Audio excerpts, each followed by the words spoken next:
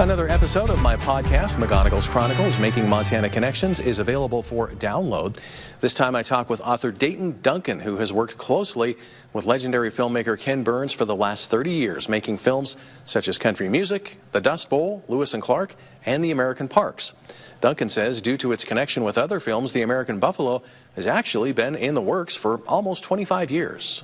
And even in 1998, I wrote up a very detailed proposal to do this film and we, we were getting ready to take it to PBS and say, you know, can we get the funding to do this and have it come out in 2003? But we then pulled back because we decided, oh, we need to tell the story of the first automobile trip across the United States, which occurred in 1903, and 2003 is the centennial. That'll be a good time to do a film that's called Horatio's Drive.